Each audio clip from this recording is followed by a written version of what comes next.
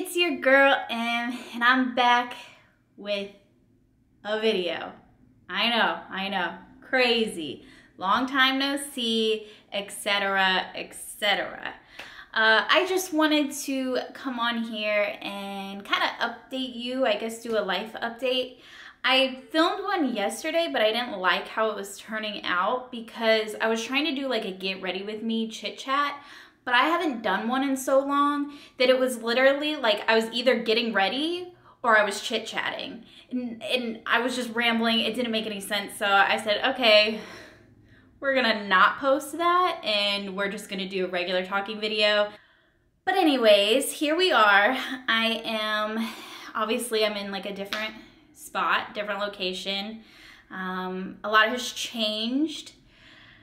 There's been a lot and I kind of want to update you. There's a lot of things that I want to tell you and I can't wait to tell you, but I've got to wait a little bit before I can, you know, talk to you about it. So this is going to just kind of be a what's been going on, what's happening now, and maybe a little bit of what's to come. This is the cutest mug. I got it at Marshall's and I'm obsessed with it. It's so big.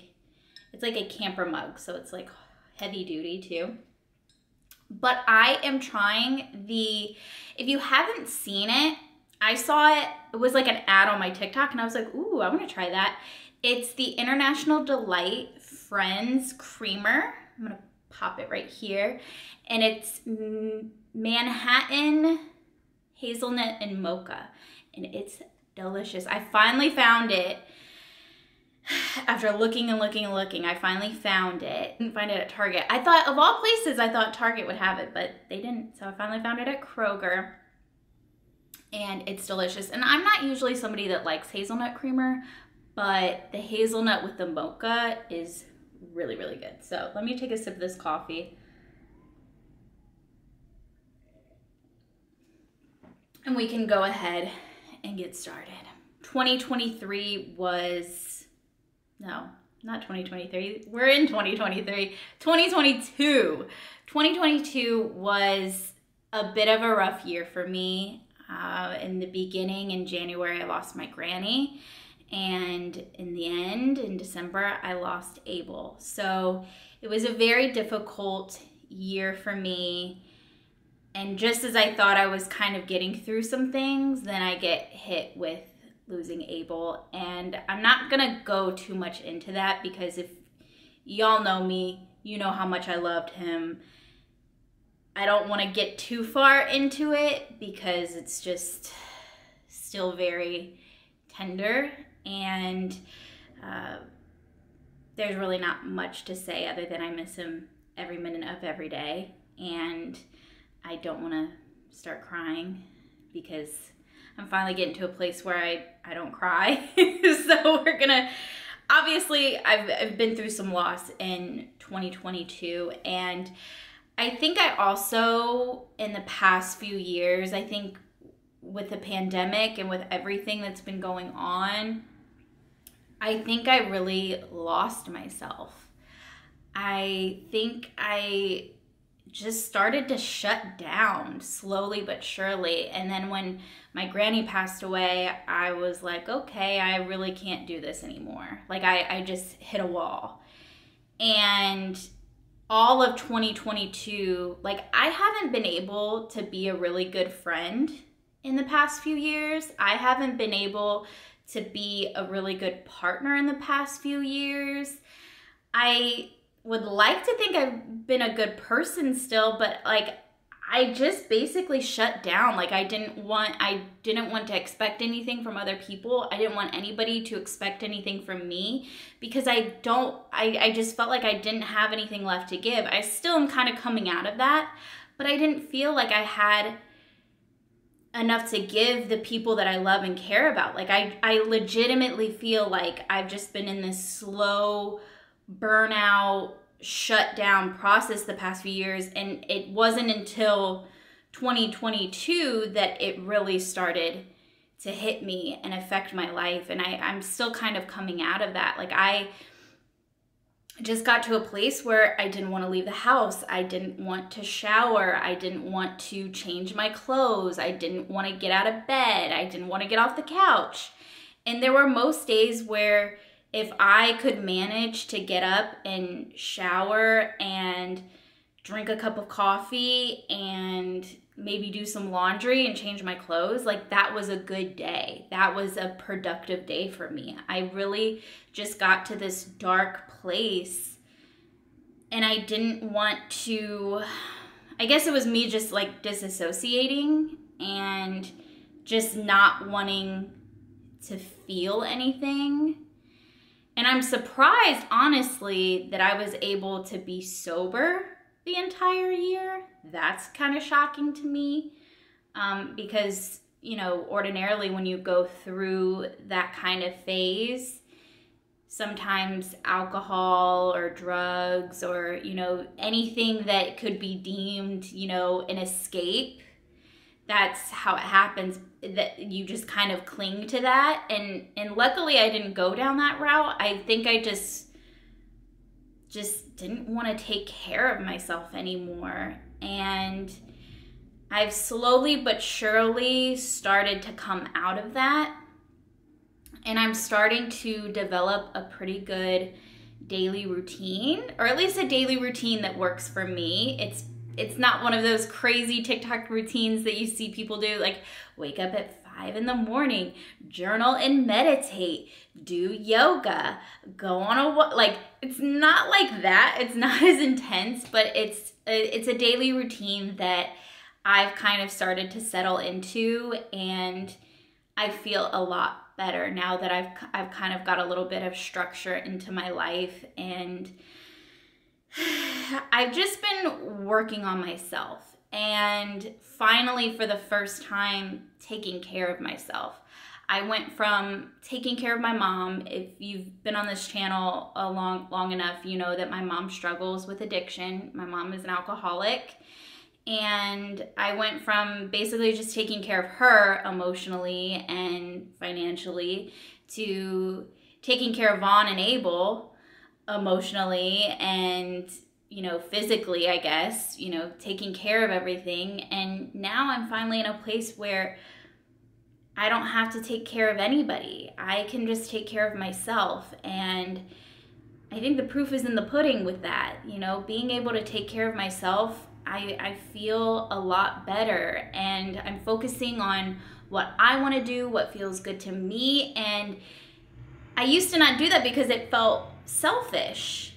And I'm realizing I can't take care of the people that I love and care about if I don't take care of myself. And I think I finally also realized that I deserve the care and love that I give to others. I deserve to give myself that. And I've just had quite a few perspective changes, and I'm really just being nicer to myself. When I have a day where I don't get everything done, I'm like, it's okay. You can get the rest done tomorrow. It's not the end of the world. Or, you know, I, I, I'm just being a lot nicer to myself. And if I only do a small workout instead of a longer workout, I'm nicer to myself. I'm not like, okay, well, at least you got a workout done. I'm not like, oh, you're lazy. You didn't get this done. You didn't do that. You didn't do this. And I I just put a lot of pressure on myself and there's and nobody's putting pressure on me. It's me putting pressure on myself and I just buckle under it and I can't I can't get out of my head sometimes and I'm lear- learning and working on getting out of my head and just focusing on myself and focusing on what I can control today and what I can work on today and not dwelling on yesterday and not freaking out about tomorrow. I'm taking everything day by day and it helps it's it's been helping a lot. You know, I, I just I can be real I can be a real bitch to myself and I finally realized like I, I can't keep living like that. Like I cannot keep living like that. It's going to ruin my life because I'm not going to get anything done because I'm too scared or too stressed out or anxious to do anything because I'm being mean to myself. And I think there was like a lot of conditioning in my youth, like that you had to like earn your love. Um, And I don't want to start crying. Don't cry, don't cry. Okay, try not to cry, try not to cry.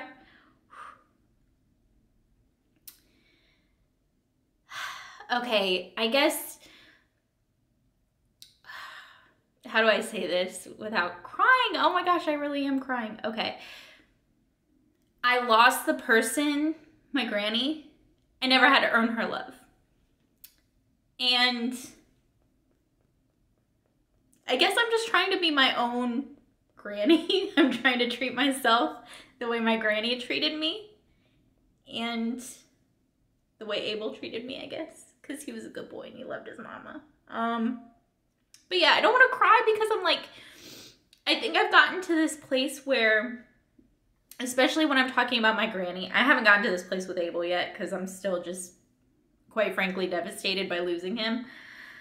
But it's not so much tears of like sadness. Losing my granny, of course, I'm still sad, but it's more like tears of gratitude. Like, just being so grateful that I had someone like her. And okay, we're gonna stop talking about her now. But it really, truly, it's just me being grateful that I had that that person, that I had her, and that she loved me so much. And not everybody gets a person like her in their lives, and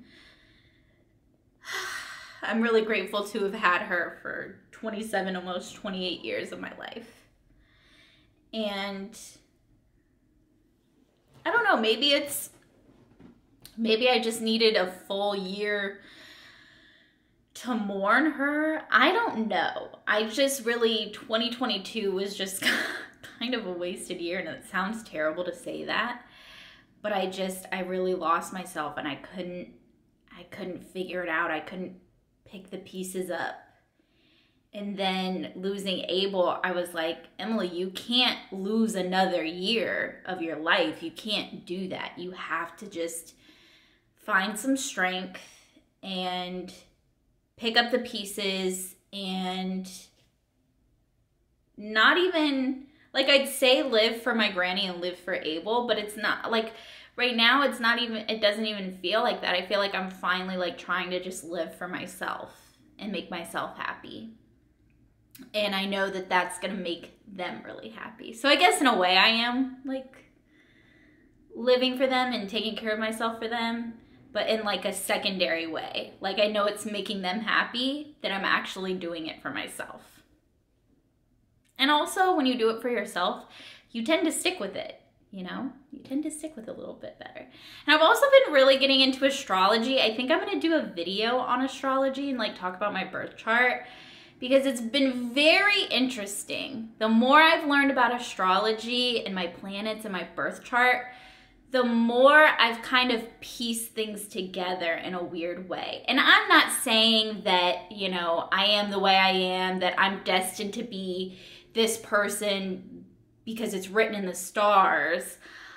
I do believe that we do have free will, but I also think that learning about astrology and using it as a tool for some introspection, I think it can be very helpful. And it's kind of like, been like, it kind of helps you examine the patterns in your life too.